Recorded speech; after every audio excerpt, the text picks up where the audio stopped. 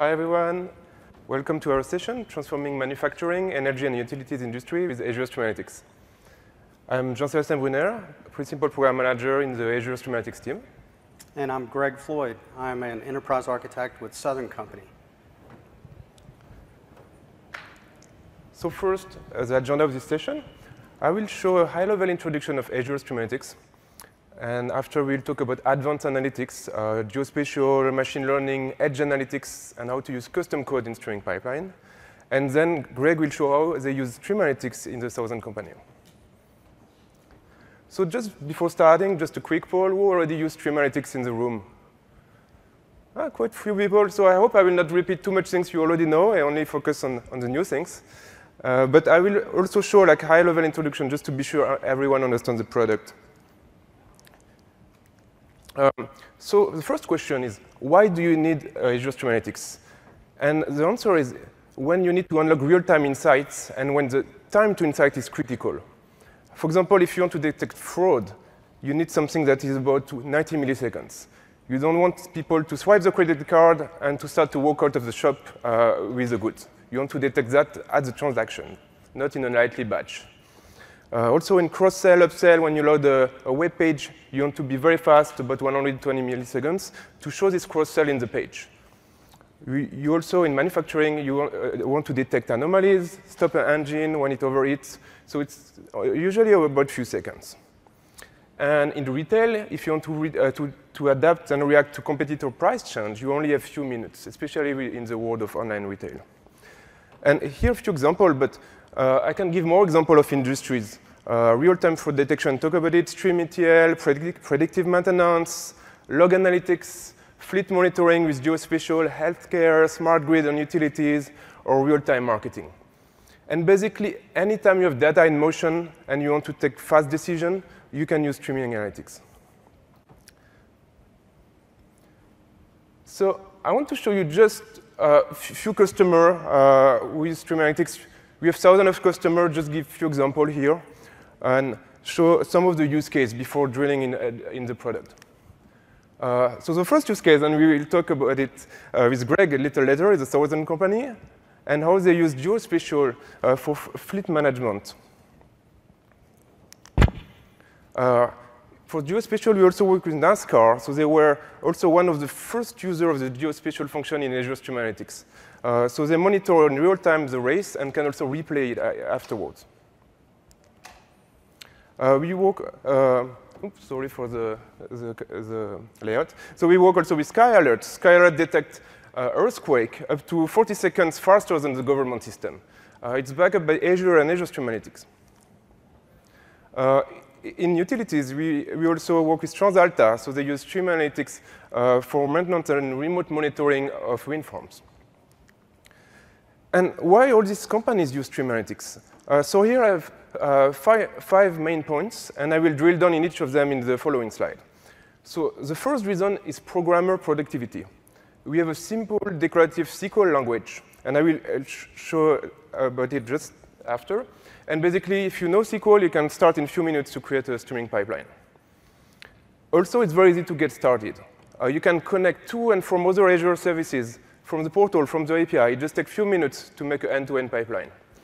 It's fully managed, serverless. We are talking about job, uh, not cluster, so there's no infrastructure to maintain, no OS update. Everything is done for you. You just add your logic, and you focus on your business, not the infrastructure. The next one is low TCO, total cost of ownership. Uh, basically, you, you, you start to pay uh, 11 cents an hour and you can scale if you need to scale. If you don't need any uh, computing, you can just stop it. You are not charged anymore. Uh, when you need more, you just can, can scale out and, and uh, take all the power of Azure. And the last one is mission critical reliability. Enterprise grade SLA, I will talk a little more about that, but uh, we have the best SLA for the streaming service uh, today. So I mentioned the SQL language. So if you are familiar with SQL, you'll recognize it. So select from where, like all the SQL things except we extended it with some windowing function. And I can use a laser here. Uh, so to have the concept of time windows, and we have some temporal operator here, and also geospatial function. So by combining time windows, geospatial function to SQL language, uh, you can uh, express very complex analytics in a simple SQL. And also it, integrate, it integrates with the tool you are using today. So we have a plugin for Visual Studio. So you can actually develop from Visual Studio, and we will have some demo later about that, and actually submit your job to the cloud. You can develop completely offline, and when you're ready, you can test it, and when you're ready, you can submit to the job. And uh, you can also uh, integrate with source control and with all your uh, current tool. So I mentioned it's very easy to integrate with other, other services. Uh, here, a canonical diagram. So Streamantics is in the middle here, and our main point of contact for uh, ingress are Event, Event Hub, IoT Hub, and blobs. And you can stream a uh, lot of data, million of events uh, per second to Stream Analytics, and put your SQL here, combine with machine learning if needed. And after, for hot path analytics, uh, you can actually have real-time dashboarding. We'll show that later. Uh, trigger some action using Azure Function, Service Bus, or do long-term archiving using SQL Server, SQL DW, Cosmos DB. So we have about 15 adapters, and we continuously add new connections. The interesting things here is not only we run in the cloud, uh, but last November we announced we can uh, take a Streamantics job, run, in run it in Docker on the edge. So we'll talk a little more about that later.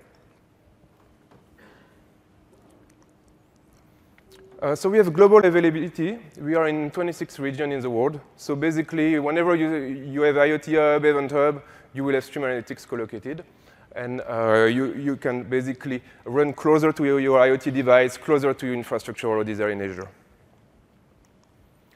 In terms of SLA, uh, so I want to mention we have 99.9% .9 availability at the minute level. So if you look at our competitor, no one is offering a managed streaming service at this level. And in terms of streaming, that's very important because you don't want first to lose any events. And we guarantee at least one delivery. We never lose any event. And we make sure uh, that we give you this availability. And ASA is based on Trill. So Trill is a Microsoft research project. Uh, it means trillion of events per day. So this is a super efficient in-memory engine. Uh, actually, we release it as a, a free, uh, free library uh, for non-commercial use if you want to, to use it. And we package it in this super efficient way to create stream analytics. So it's two to four order of magnitude faster than any other engine on the market. And this technology is already used to run some of the largest streaming pipeline you can imagine. We are running, for example, the Bing ads monetization pipeline. So it's several billion of dollars every year. Every time you, you basically have one second of delay, you, you are losing $200. So uh, you can imagine the scale. Same with Office 365. All the telemetry and uh, the scale, uh, and the scale is managed uh, with the same technology. So then I want to, to talk a little about time windows. So how do we do it in Stream Analytics? So that's one of the very important concepts we have, is we want to make very easy uh, to manage these time windows. So we have few, few flavor of windows. I will start by the tumbling windows. Uh, you can just imagine the, the windows just tumbling uh, 10 seconds after 10 seconds here. And the way you use it in SQL is just to use the group by operator. So sorry, the group by here. So you say, I want to use something on a tumbling windows of 10 seconds. I just use group by. And after, I use some aggregate. Here, it's very simple. It's just a count. You can do average, but you can also do some more complicated, complex things. Uh, so you can see how easy and readable it is. If you have to develop this code by yourself using C Sharp, and something else, it should start to be a little more complicated. But we have other kind of windows. So hopping windows, so that's very similar, uh, but we have some overlap between them. Uh, sliding windows, this one is very interesting because they actually trigger whenever an, an event uh, enters the system. So they are event-based, uh, but they still have a, a fixed uh, duration. But again, very simple.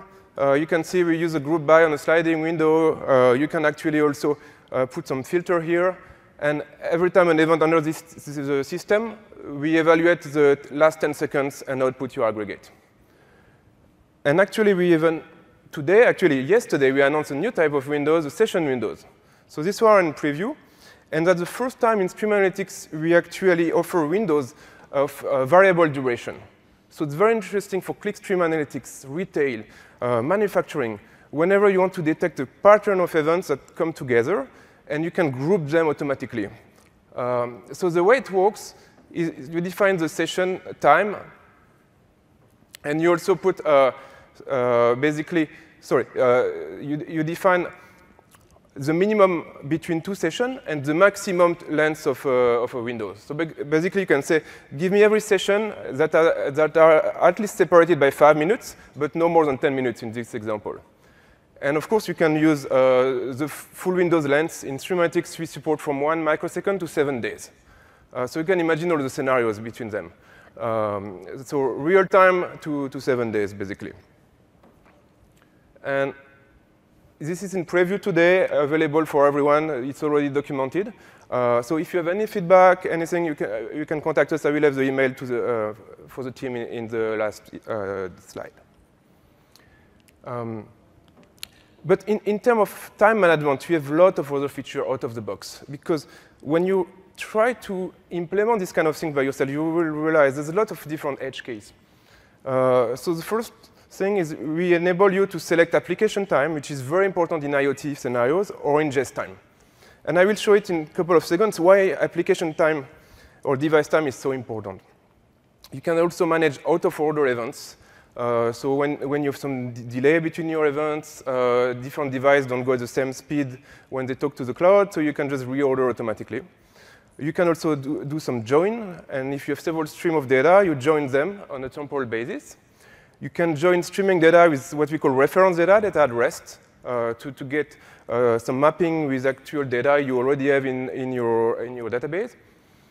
And uh, we do adaptive micro-batching, uh, so we adapt on the speed of the events. If you start to have very, very high throughput, we will adjust. If you start to slow down, we will adjust. So that is very interesting because you can control the cost to your outputs. So we, we, we don't just completely, I mean, for one transaction in input, we don't have one transaction in output.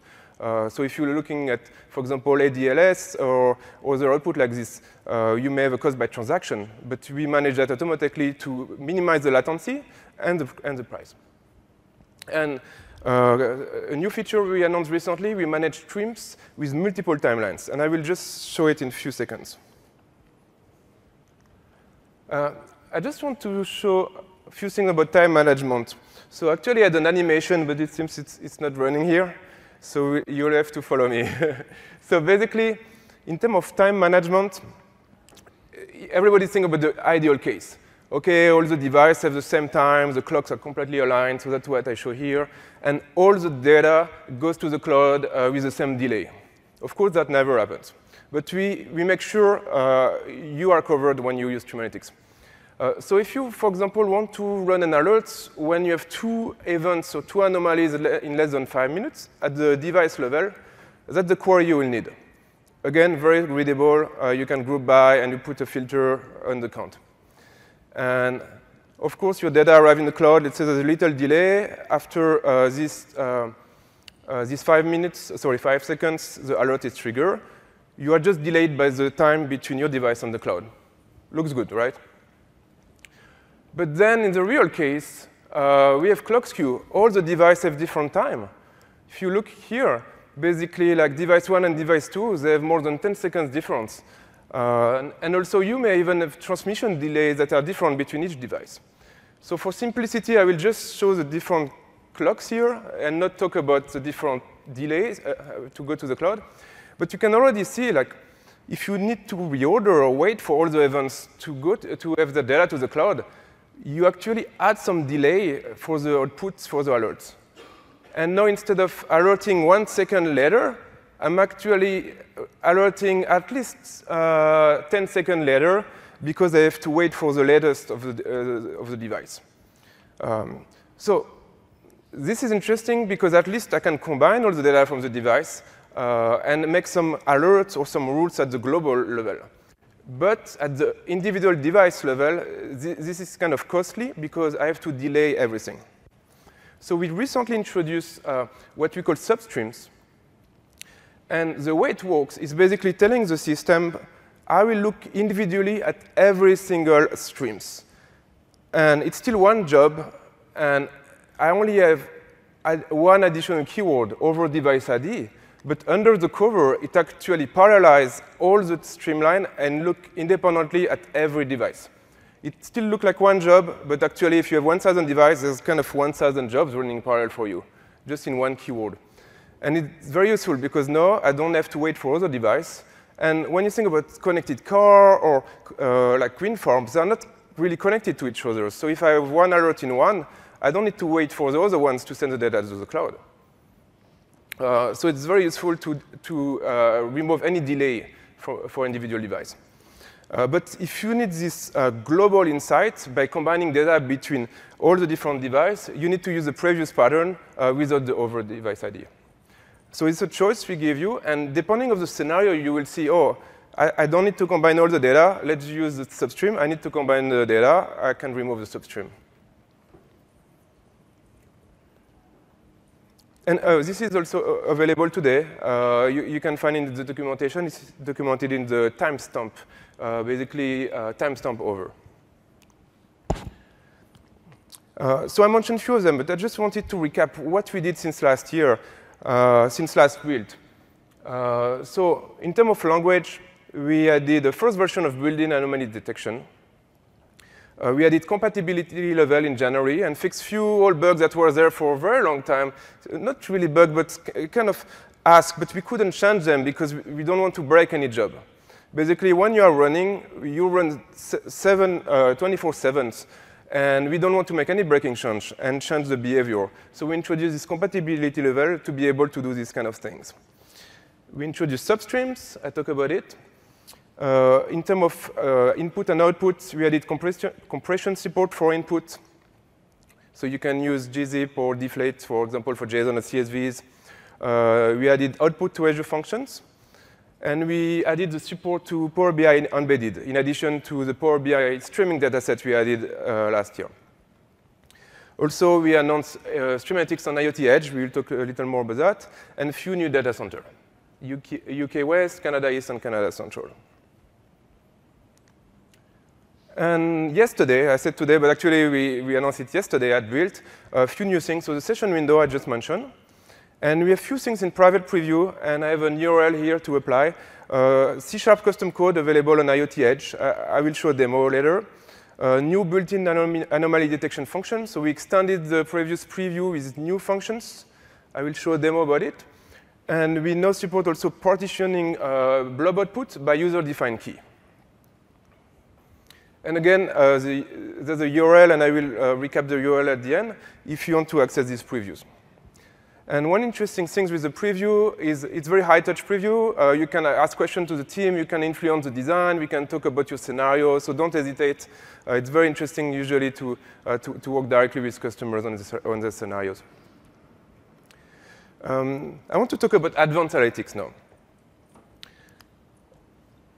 So uh, I will start by Edge. And after I will talk about uh, Azure machine, uh, so geospatial function, machine learning function, and custom code. So let's start by Edge.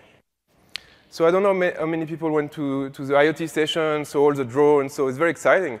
And actually, ASA, Streamletics, was one of the first services available on IoT Edge. And the things I, I mentioned before, uh, all this uh, easy to start SQL and uh, all this uh, easy uh, connection with other services in the cloud are now available on the edge. So the way it works is you, you go to the portal, you create a new job, and instead of cloud, you just say, I want to add job. It creates a, a, basically a Docker image, and after you go to the portal, uh, IoT portal, and you can deploy on device. You can deploy to one device, you can deploy to 10,000 devices at the same process, the same number of clicks. Of course, you can use the API and everything. And, and that's just uh, like a canonical example here. Uh, we will control this job from the cloud, and you can send remotely the update later. But why using uh, ASA on Edge? So there's, there's a few use cases. Uh, I think the first one is low latency command and control, especially in manufacturing, utilities. So if you want to react in real time and don't have time to send the data to the cloud just to, to have some alert, and if you have some anomaly like uh, overheating, over vibration, and you need to stop the machine, you really want to do it close to the machine, and you want also to act on that machine. So by decreasing this all end-to-end, -end, you can have a very efficient pipeline. also in case of limited connectivity to the cloud.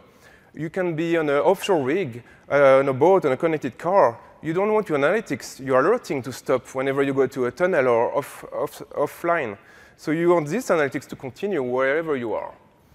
Uh, similarly, if you are on an offshore rig on a boat, you probably don't have a, uh, like a 5G connection. Uh, so in terms of limited bandwidth, uh, you need to aggregate, filter, and only send the right information to the cloud. Uh, probably not all the noise. So you can do that with Stream Analytics. And when you think about connected car, for example, of uh, manufacturing robots, it's about like at least 10 megabytes per second. So just the cost of this transmission could, could be a lot for some scenarios. And the last one, but not the least, especially with GDPR and all the requirements, is compliance. Uh, basically, with Stream Analytics, you can actually anonymize or aggregate the data before sending it to the cloud. So you can remove any personal identification or aggregate on many users. So basically, you are not sending any PI to the cloud. Uh, and all of this can be used with the SQL language I showed before and uh, all the different things we, we show for Stream Analytics. And the big advantage is really you have the same language for both cloud and edge job. And if you look at the market, there's already a lot of people on the edge analytics, but it's very rare that you can use the same language and decide, oh, I can run that to the cloud today, but maybe uh, if I have more uh, throughput, I will change it and run that to, to the edge later. It's the same language, the same workflow, and the integration is very easy. So it's cross-platform. So we run on Docker container. It can run on Linux, on Windows. It can run on Intel or ARM CPUs. So basically, you can take Azure Analytics uh, wherever you want. And we leverage Azure IoT Edge for security, deployment, and manageability. So all the things you saw yesterday in the keynote, or all the things about IoT Edge, basically, uh, you can use them here for, for Stream Analytics.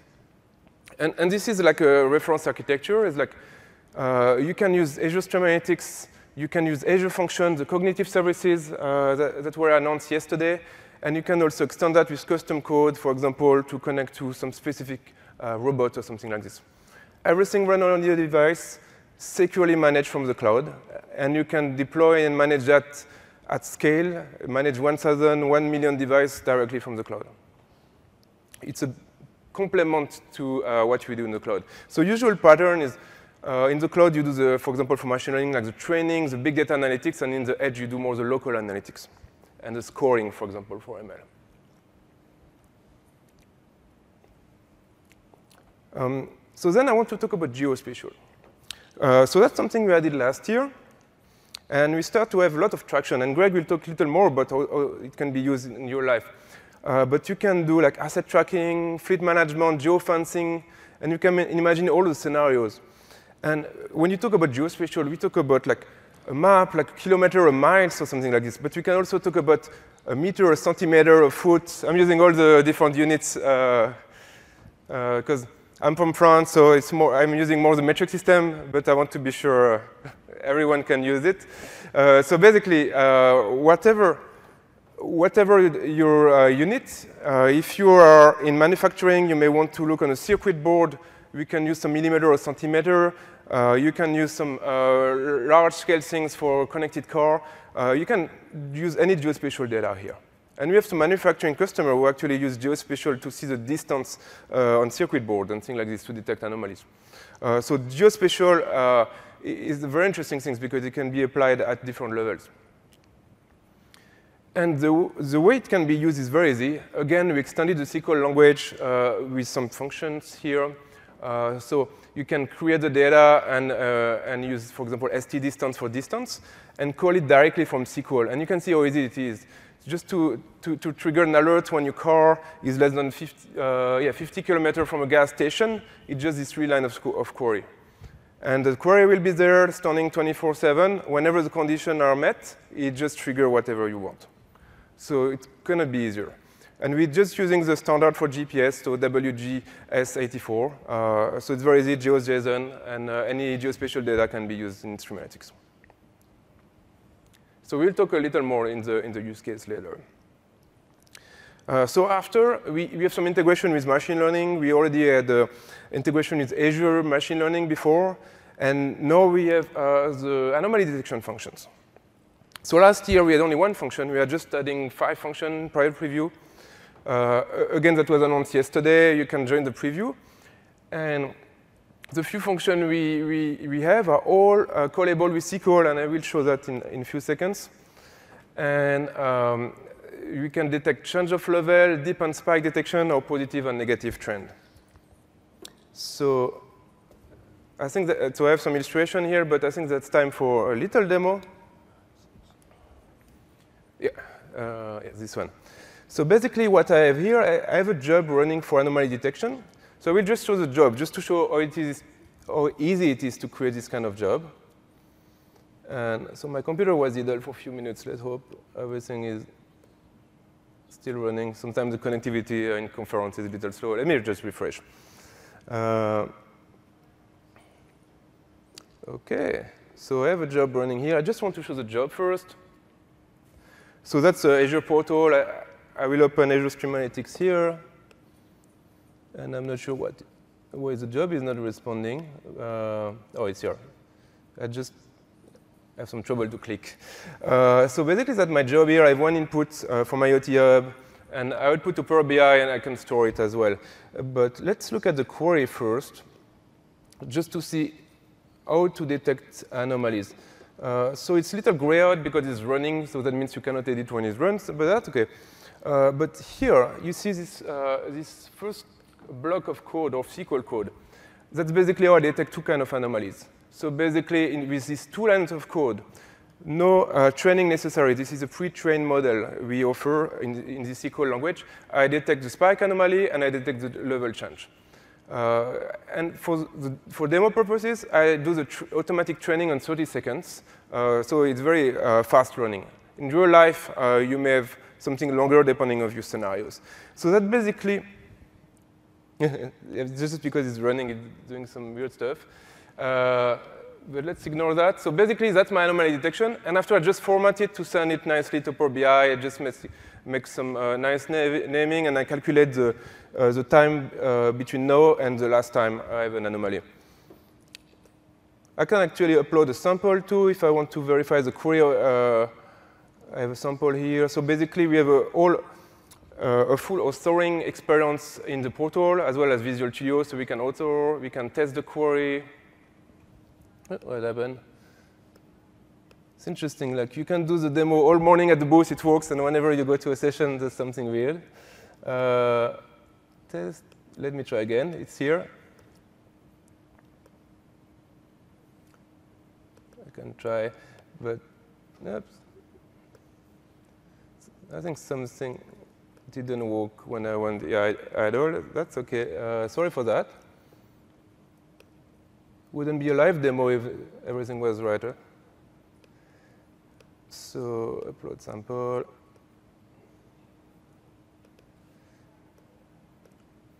OK, here you go. And basically, so we have all authoring experience. Uh, we sent syntax highlighting and error highlighting in the portal. And and a test in the browser here. Uh, so basically, you can also here or in Visual Studio. And sorry, the resolution is not ideal, but basically, uh, that helps you to also the query uh, in, the in the portal. And basically, after I take that, I have some simulator here uh, that simulates some data. It's sent from my laptop to the cloud, and I visualize in Power BI. And what I'm showing here is like we have some temp random temperature. So we, it was running for a long time, so just need to update. We have some random temperature, you see like uh, with some oscillation here. And uh, every 60 seconds, I generate like a change of level. And without having to specify how big is the change, what I'm expected, the model just uh, train automatically itself over 30 seconds of data. And then whenever there's a change, actually uh, trigger an anomaly. So like the black one is that change anomaly. And I can see like the last anomaly was 50 seconds ago. Uh, I can also trigger a spike, for example. Uh, let's do a spike right now. So I'm sending a spike from lap my laptop to IoT Hub. IoT Hub is processing stream analytics and send the, send the data to uh, Power BI. So the connection is a little slow, but I can see something already arrive here uh, because the scale changed. And uh, the anomaly is already detected here, as you can see. And uh, 12, 13 seconds ago, basically, I had a reset on my spike detection. And at some point, Power BI will see it, and uh, I apologize for that. I think the, the network is, is, pretty slow. Oh, it just appeared here. Uh, so that's the spike I generated, and you can see the anomaly. Again, one line of code for detecting spike, one line of code for detecting the, the change of level. Um, so no need of data scientists. You can start right away in five minutes. Basically, I needed 30 minutes to do the whole end-to-end -end demo. So I see a question in the room. Okay. So you said there was a preloaded model that you're using for this. Can you preload your own custom models to do anomaly detection? A good question. So the question is, uh, I said I have a, a, preloaded model. Can we load uh, a custom model? So uh, the answer is yes or no. So uh, yes, we have integration with Azure Machine Learning, the studio. And when you productize your model uh, using a REST function, REST API, uh, we can actually call out to this model. So that's the first integration.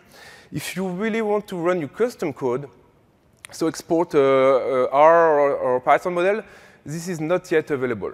Uh, so I will talk about the C-sharp integration that we are adding on the edge today. So that's available, but we are working on different language uh, later, so you can integrate the models you want. So that's for uh, the anomaly detection demo. A any other question on this demo? So let me go back to the, the presentation then.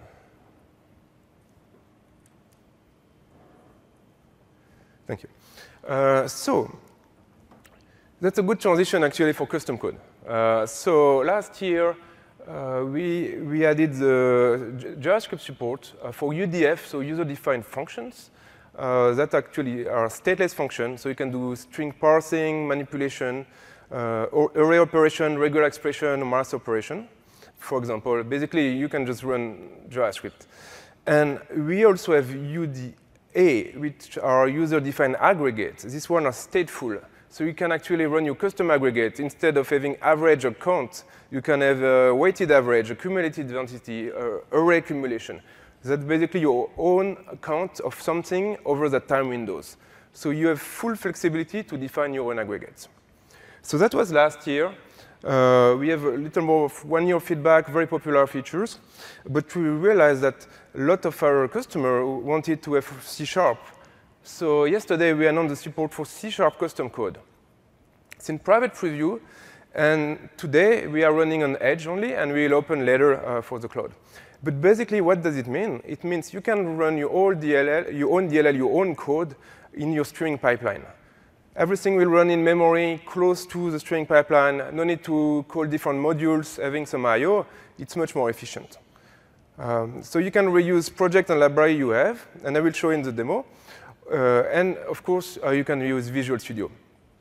And if you want to join the preview, same URL as before uh, for the previews.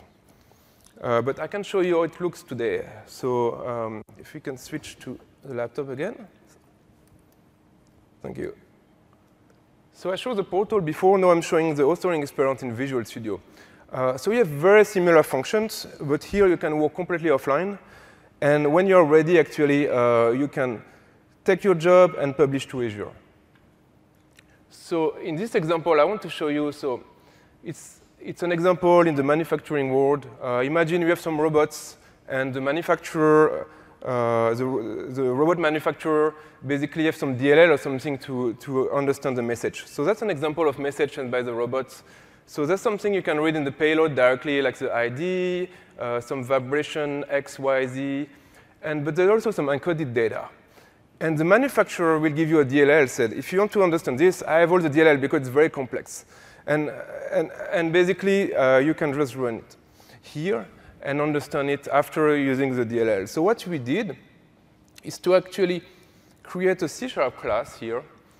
And uh, I, I, don't know if it's big enough, but uh, I can zoom it if needed. But basically, we have a C-sharp class that reference basically uh, the, the, DLL uh, given by the robot manufacturer. So imagine here it's the robots, uh, but they have all the logic to understand, to decode, and after all the uh, kind of their own business logic to decode that kind of uh, very low-level code to uh, meaningful insight. And then they give a user manual, and they tell you from that you can do, for example, understand if you need to fix the angle on your robot arm, or they can give you some API so you can adjust it when you find an anomaly and tell you uh, if it's normal. You can also uh, have an, an, insight if the temperature is normal or if you need to do something else. Uh, they give you from, from this payload, they will tell you, oh, the battery is not charging anymore. It's charging too slow. You need to, to actually call the maintenance. And in the manufacturing world, manufacturing world it's very typical that uh, we have a third party giving this kind of uh, insight, uh, and so you have to integrate in your streaming pipeline. And we heard a lot uh, this kind of scenario from customer, uh, so that's why we now integrate C-sharp DLL and uh, your co own code directly in the streaming pipeline. So here's the example. You can see like very easy to read the DLL and use it, but even easier to use in Stream Analytics you add it to that project. It's just a reference to my streaming analytics project here. And after in the SQL script, I call it by using udf dot the name of my function. Again, very easy to integrate with SQL. I send all the parameters here, and after I show them. But not only I can define here, I can also test, test locally. I don't even need a connection to the cloud. Uh, so I can just run it. It generates the file offline and after I can see the result here. And I can see one of the robots, so from my, my payload sample I had before, I can see, for example, this one is battery service, this one is uh, arm adjustment, and uh, I think there's few other some maintenance here, battery service. So just a simple example, how you reuse a DLL, or you create uh, custom code and integrate very easily in the SQL pipeline. And again, uh, you will save a lot of I.O. and run everything in memory uh, closer to, the, to your device. So that's basically it for this demo. And, and after, I will let Greg describe the use case with the Southern company. Thank you. Thank you. So a little bit about Southern Company, my employer. Southern Company is one of the largest energy companies in the United States. It has over 9 million customers across 19 different states. We have 11 regulated utilities. We're going to talk about Georgia Power as one of our electric utilities. And it's compi comprised of electric, natural gas, and other companies, including a telecom company. We have 37,000 employees. I'm one of them, and I'm, I'm out of Atlanta. Uh, you probably guessed that. Um, so today I'm here to talk about how we're using Azure and Stream Analytics for asset, vehicle, and crew location tracking. An example of an asset is uh, bucket backhoes, trailers, containers, portable substations. In vehicles that we track, mostly bucket trucks, as you would associate with electric companies, as well as line trucks and other fleet vehicles. We also tag those vehicles and equipment with crews, both internally and externally, as is the case when other external utilities come to assist us in power restoration after a storm, Hurricane Irma last year. So the main focus of my talk today will be to talk about how we use location tracking for these various entities to restore power. But there's other use cases as well. We also use this data in, in other ways, and we'll see later how we do that, to uh, recover items that are stolen, to promote safe driving, and to protect our workers who may be in remote locations. So the point of this Azure Streaming Analytics use case is really to talk about how we as Southern Company have used the cloud and streaming analytics to obtain business value quickly so I'm going to talk a little bit about the solution architecture. The solution architecture is a, is a cloud-based architecture. This is a subset. On the right side, you see all the services that comprise the solution. There's two basic inputs, the basic device and advanced device. The basic device is your, is your simple tracker that will communicate over UDP or TCP protocols. Those basic devices communicate into a collection of cloud services grouped into listener services, parser services, and vendor forwarding services. Most, most time, basic devices are provisioned by vendors. So when those, that telemetry comes in from the basic devices, a listener picks it up, places it on an event hub, and then a vendor forwarding service parses that information, publishes it to the IoT hub, and sends it on to the IoT vendor. The point of this solution was really to support multiple vendors and multiple devices and carriers. And what we've built is a framework so that each business unit could create their own use case as we described above. So advanced devices are actually iPhones or rugged laptops that sit in the truck. They can communicate directly to the IoT hub.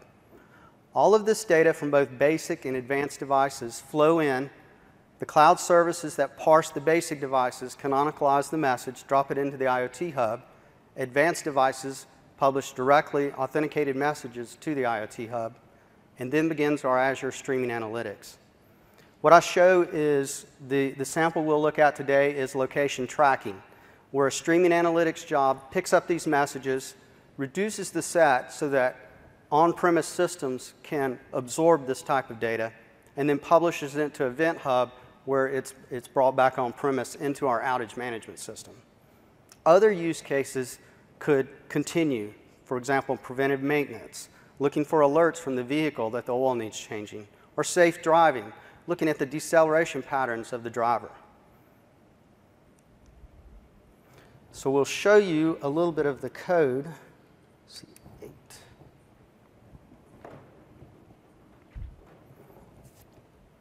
So in this example, I'm showing a solution that I built called Tracker, and you'll be able to download this. It's completely run locally. And what I've done is I've put some sample tracker messages from two different types of trackers. So the first tracker, the actual basic, this, these are both basic trackers. The message that comes in is in the body. That's the raw message. And then the parsers canonicalize that message and drop it into this JSON for the IoT. The, uh, the vendor forwarder will get the raw message as it's received in the format that the vendor requires. And we're using enrichment to publish additional information into this message. For example, what is the device type? What kind of message is this? Is it a location, an alert? Is it a diagnostic? And so forth. So this is one of the examples. And here's another example of a uh, an encoded message that's coming from a different type of tracker. We support multiple types of trackers, and those are provided by different vendors. So we can host this framework for different vendors at the same time. And so what I've put together is a sample for a single device over a 24-hour period for different message types. And the purpose of this is to run through this streaming analytics job using a lot of the uh, functions geospatial functions and analytical functions, along with windowing functions, to reduce this to a manageable set so that our on-premise systems can consume these. In this particular example, this outage location tracking data is flowing into our outage management system. And so the job itself looks like this. And I'll, I'll, step through it briefly. So the first thing we do is we retrieve the message from the streaming analytics in the IoT hub, and we look at the previous message that we heard from up to four hours ago.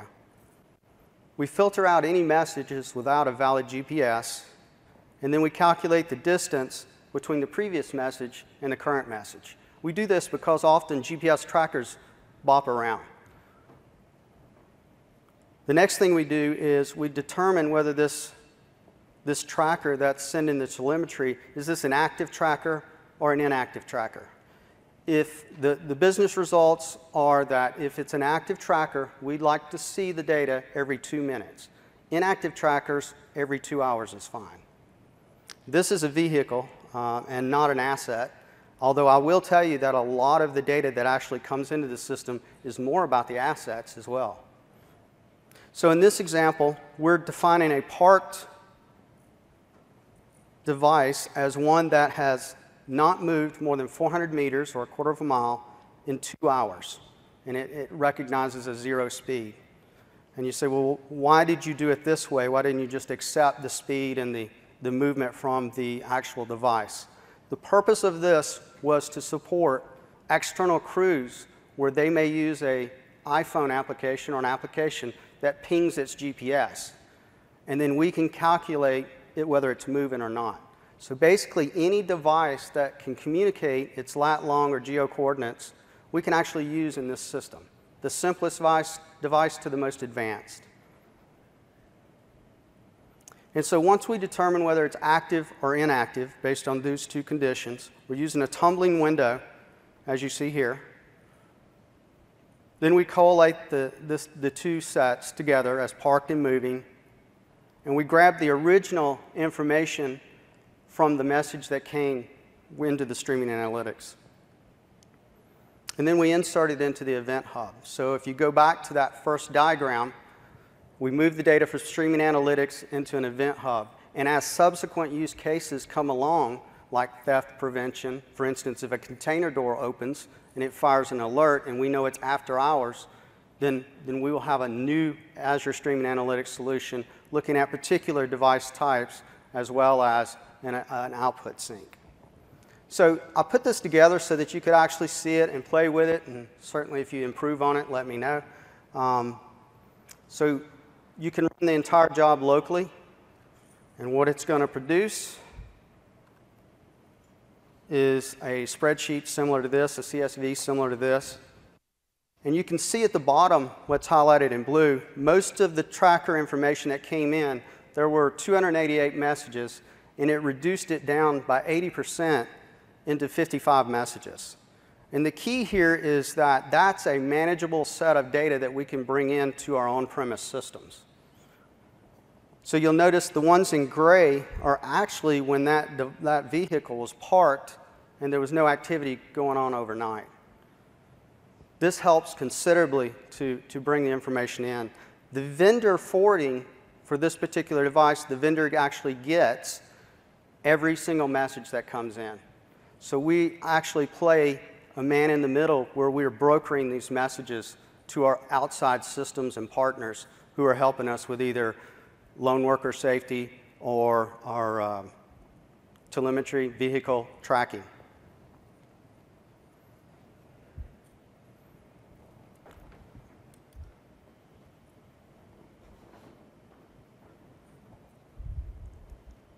Okay, so it's very important that no matter what kind of system you build, anytime you build an IoT system, that you have a dashboard with metrics and alerts. We built this dashboard. This represents a very blue sky day. We didn't have a lot of work going on. In the event of a storm like in Hurricane Irma, you would quadruple this data or even more.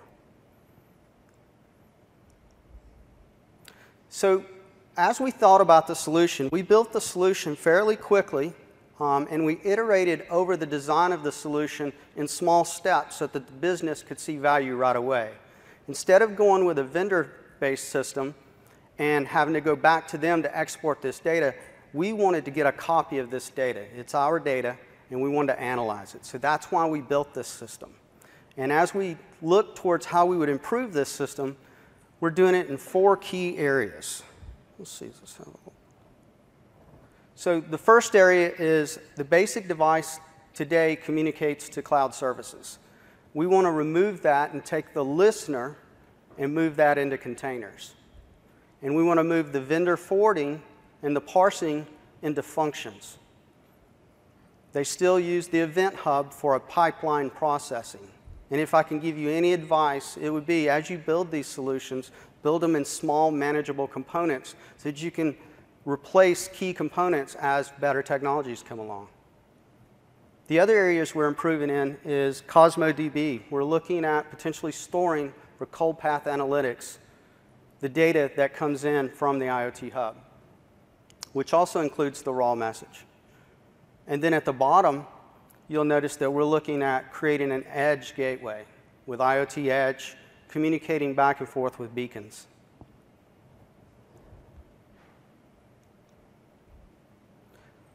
So why did Southern Company choose Azure and Stream Analytics? Again, the, the, the, basic idea was we wanted to build a framework so that we could control the data. And as we came up with new business cases, we could build those business cases by our product groups, and they could implement them without IT support. So it's very easable, easy. Um, from a scalability perspective, this system was built to handle storm conditions in the cloud. If we had built this system on premise, as you know, we would have had to scale up and build that, that system to handle the max situation, which was very, not very feasible. As it stood, when we put this, this solution into the cloud, it was very quickly, we were able to scale three components to handle Hurricane Irma and watch the trucks moving around. And the actual outage management system that received the data was easily able to handle that amount of data because we weren't giving them 15 second data for every single device out there. Today, there's 1,400 devices with 3,000 more coming online soon. So from a scalability perspective, we found app insights, dashboarding, and alerting to be critical, and it helped us. From a developer productivity, it's SQL. We all know SQL as developers, and the business knows SQL, and they can easily create output sinks in SQL that manages their use case. It's quick to integrate data. In fact, we enrich data coming into the Stream Analytics job, and we can add more data sinks. And it's fail fast, so we can quickly prototype the system and try it out, and the business can as well. And finally, it was an extensible framework. Like I said, we componentized the pieces so that each one could be replaced and, and updated as necessary. It's easy to update the system, and additional use cases are quick to add. Thank you.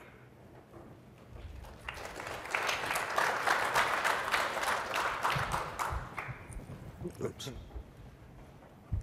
So you, you, can actually see the whole case study online, so uh, uh, we, we have that described on the Azure website.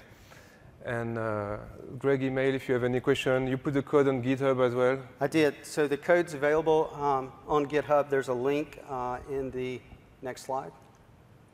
There you go. So you can. Oh, it seems the slides were not updated. So we can we can add it in the in the session information uh, in the slide we will share. Yeah. And uh, in this deck that you'll get, um, there's also an architecture reference, so you can see the whole architecture as it was conceived.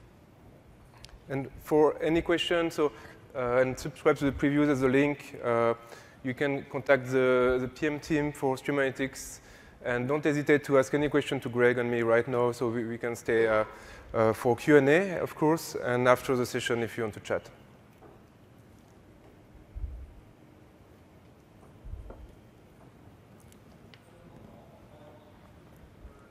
And I have to remind also to fill the evaluation, and so you will be eligible for some prize. So any question from the rooms?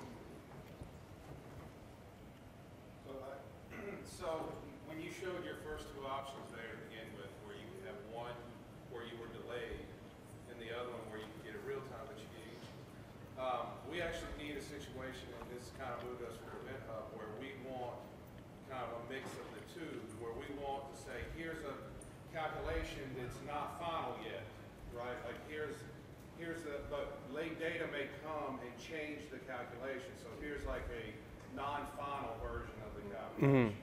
Right? Do you have any kind of plans for something like that? I see. So the, the question is, do we have any plans? So we, we can have basically different steps, like, uh, like non-final and final calculation. Uh, so we actually can have uh, several steps uh, using the with keyword. You can have uh, independent blocks of uh, analytics in the same query. So this, this one in particular, like we can get data out of, um, out of order up to seven days. Right? Oh, okay. Okay. So the, the out of order parameter is at the job level, so for every step in the same job. Uh, but then you can still use substream in one of the steps. So basically, you can have one step that go at the device level using the timestamp by, and other steps that just follow the regular out of order. So uh, because you can control the, that substream use it, with the timestamp keyword, so every time basically you have a new stream of data, you can choose whether you choose it at global level or like local level. And uh, if you have a scenario, I will be, uh, let me put the email again, I will be happy to, to help you to write the query uh, uh based on the scenario. Any other question, uh, feedback? feature you want to see next? We're actually in planning process for the next semester, uh, so that's the best time of the year actually to request feature from, uh, for, from all the Azure teams.